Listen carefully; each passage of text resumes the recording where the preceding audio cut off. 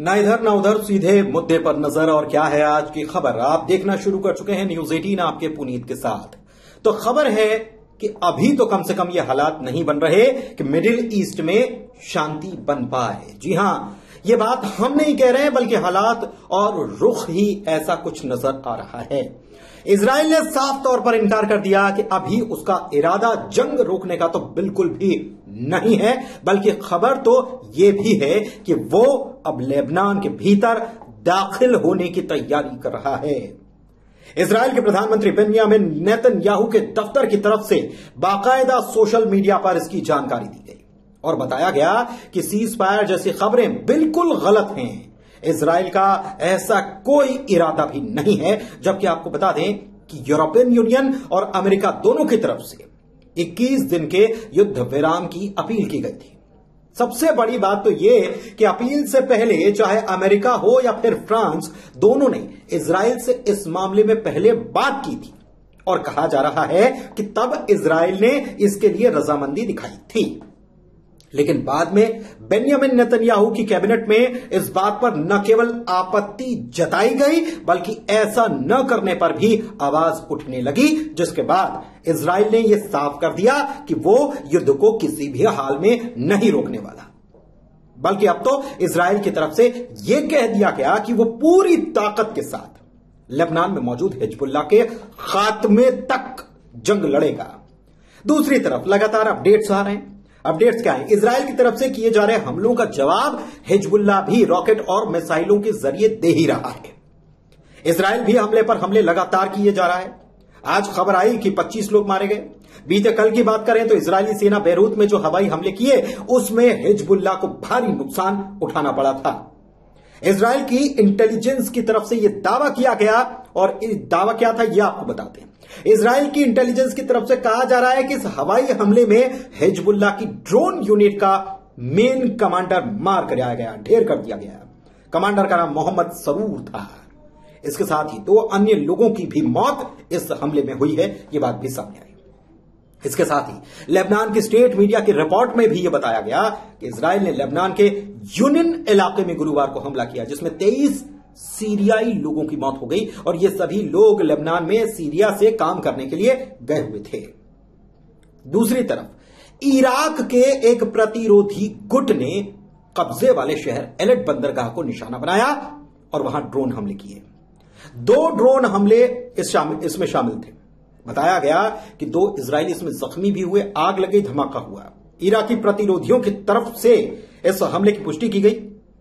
और कहा गया कि जिस तरह से फिलिस्तीन और लेबनान में इसराइल हमले कर रहा है यह उसका जवाब है और यह आगे भी जारी रहेगा। इराक के कतई सैयद अल शुहादा के महासचिव की तरफ़ से और क्या कुछ कहा गया? सुनिए जरा कि हिजबुल्ला चीफ हसन नसरल्ला के आदेश पर हज़ारों इराकी पूरी तरह से एक हो जाएँगे और अगर आपने एक हज़ार लड़ाकों को खो दिया है तो हम आपको एक लाख लड़ाके और दे देंगे। हालाँकि इससे पहले शांति के लिए खूब कोशिशें भी की गई। बुधवार की बात कर ले तो न्यूयॉर्क में संयुक्त राष्ट्र महासभा में बैठक बुलाई गई आपातकालीन बैठक थी, जिसमें न्यूयॉर्क में इसराइल लेबनान जंग रोकने को लेकर चर्चा की गई। और इसमें अमेरिका, फ्रांस ने 21 दिनों के सीज फायर की मांग की थी। इसका समर्थन Australia, Canada, Saudi Arab, UAE, Qatar समेत कई यूरोपीय देशों ने भी कर दिया था। वैसे आपको बता दें कि गाजा में करीब एक साल से लड़ाई चल रही है और अमेरिकी राष्ट्रपति जो बाइडन पर मिडिल ईस्ट में जंग को रोकने का बहुत दबाव है। 116 दिन बचे हैं राष्ट्रपति पद पर उनके। बाइडेन काफ़ी वक्त से बातचीत के ज़रिए जंग को रोकने की कोशिश में लगे हैं, लेकिन अब तक उनको कामयाबी नहीं हो पाई। दरअसल, अगर उनकी कोशिश कामयाब हो जाएगी तो उससे उनकी इमेज बेहतर होगी, उनके चुनाव के लिए कामयाबी रहेगी। डेमोक्रेटिक पार्टी को चुनाव में इसका फ़ायदा भी मिल सकता है। लेकिन दूसरे पहलू को जानना और समझना बेहद ज़रूरी है, क्योंकि एक तरफ़ जहाँ अमेरिका, अमेरिकी राष्ट्रपति, एक तरफ़ मिडिल ईस्ट में जंग रोकने की, शांति की बात कर रहे हैं कि होना चाहिए, शांति, बहुत लोग मर रहे हैं। लेकिन दूसरी तरफ़ अमेरिका इसराइल को जंग में मदद के लिए घातक हथियार भी मुहैया करा रहा है। कौन कौन से बताएँगे आपको? हथियारों की मदद से गाजा में चालीस हज़ार से ज़्यादा लोगों की जान जा चुकी है, जिसमें महिलाएँ और बच्चे भी हैं। और इससे भी दिलचस्प यह कि अमेरिका फिलिस्तीन में भी वहाँ के लोगों के लिए मदद मुहैया कराता आया है। और हाल ही में जब यह खुलासा हुआ था, पता चला था कि इसी साल जनवरी के महीने में फिलिस्तीन को अमेरिका की तरफ़ से पहुंचाई जाने वाली एड को इसराइल के द्वारा रोक दिया गया था और यह रिपोर्ट अधिकारियों के द्वारा अमेरिका के विदेश मंत्री एंटनी ब्लिंकन को दी गई।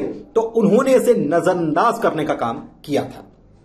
यानी कि एक तरफ़ अमेरिका फिलिस्तीन को मानवीय मदद पहुँचाने की बात करता है और दूसरी तरफ़ इसराइल को हथियार सप्लाई करते हुए कहता है कि अब बहुत हो गया। अब क्षेत्र में शांति की स्थापना होनी चाहिए। अमेरिका मिसाइल दे रहा है। बताऊँगा आपको खबर। इधर संयुक्त राष्ट्र की तरफ़ से इसराइल के लेबनान पर लगातार जारी हमले के बाद एक बेहद गंभीर बयान सामने आया, जिसमें कहा गया कि लेबनान पीढ़ी के सबसे घातक दौर का सामना कर रहा है। संयुक्त राष्ट्र के ह्यूमेनिटेरियन कोऑर्डिनेटर इमरान रिजा ने कहा है कि लेबनान में हाल ही में हुई हिंसा किसी विनाशकारी स्थिति से कम नहीं। हम लेबनान में एक पीढ़ी में सबसे घातक दौर को देख रहे हैं और कई लोग ये भी आशंका जता रहे हैं कि यह तो बस शुरुआत है। बता दें कि लेबनान में अब तक 446 स्कूल, यूनिवर्सिटीज, विश्वविद्यालय, संस्थान लोगों के लिए शरण स्थली बनाए गए हैं। उधर इजरायली सुरक्षा अधिकारी ने समाचार एजेंसी को बताया है कि लेबनान पर इजरायली जमीनी हमला, यानी कि लेबनान की ज़मीन में दाखिल होने का हमला जल्द से जल्द किया जाएगा। उत्तरी इसराइल के राजनेता डेविड अजुलाई ने कहा कि अगर 21 दिन का युद्ध विराम समझौता हो जाता और इससे इसराइल और हिजबुल्ला के बीच दुश्मनी खत्म हो जाती है तो इसके जो भी नतीजे होंगे, उसके लिए इसराइल की सरकार जिम्मेदार होगी। इतना ही नहीं। अजुलाई की तरफ़ से यह इशारा भी किया गया कि हाल के दिनों में हिजबुल्ला की जो ताकत सामने आई है, उसने भी लगातार रॉकेट दागे मिसाइल दागी है, उससे निपटने और आगे से कोई और सात अक्टूबर का दिन न देखना पड़े, इसके लिए खतरे को अभी से दूर कर देना चाहिए। मतलब साफ़ कि किसी भी हाल में हिजबुल्ला को नस्तो नाबूद किया जाए ताकि वो आने वाले वक्त में और कोई खतरा न पैदा कर सके या न बन पाए। सबसे बड़ी बात यह है कि इसराइल न केवल लेबनान पर अपने हमले जारी रखे हुए बल्कि सेम वक्त में, सेम समय पर गाजा में भी वो कहर बर पा रहा है मिडिल गाजा के डेर अल बला के अल अक्सा शहीद अस्पताल की अगर बात की जाए तो कभी यह इलाका इसराइली बमबारी से बचने के लिए लोगों की शरण स्थली होता था। लेकिन इसराइल ने यहाँ पर भी हमला बोला और वो भी गाइडेड मिसाइल से। गाइडेड मिसाइल किसने दी? ये मिसाइल अमेरिकी मेड मिसाइल थी।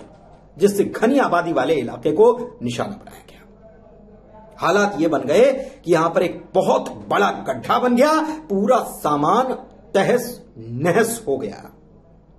वैसे इसराइल ने कसम खा ली है कि अब वो आने वाले वक्त में कोई भी और सात अक्टूबर जैसा दिन नहीं देखने देगा। और इसके लिए उसे जो भी कदम उठाने होंगे वो उठाएगा। फिर चाहे वो लेबनान में सीधा हमला करना हो, गाजा में हमला करना हो, वेस्ट बैंक में हो, कुछ भी हो लेकिन दूसरा पहलू अगर देखा जाए तो ईरान, जो कि इसराइल के खिलाफ प्रॉक्सी वॉर छेड़े हुए, वो भी तो यही चाहता था। ईरान भले ही धमकी दे रहा है कि इसराइल को इसकी कीमत चुकानी पड़ेगी, फिर वो हमला करने में भी देरी नहीं लगाएगा। ईरान खुद युद्ध में कूद पड़ेगा, लेकिन ऐसा होना आसान नहीं है, बहुत मुश्किल नज़र आता है। फिर भी क्या हम ये मान लें कि प्रॉक्सी वॉर के ज़रिए इसराइल को फंसाने का खेल, जो खेला गया, उसमें ईरान कामयाब हो गया? क्योंकि ईरान सीधे इसराइल से युद्ध लड़ने के बजाय हिजबुल्ला, हमास, हूथी और इराक में मौजूद ईरानी समर्थक प्रतिरोधी गुट के ज़रिए उसे पूरे वक्त फंसाए हुए है और इसराइल अब भी युद्ध में ही है। धन्यवाद।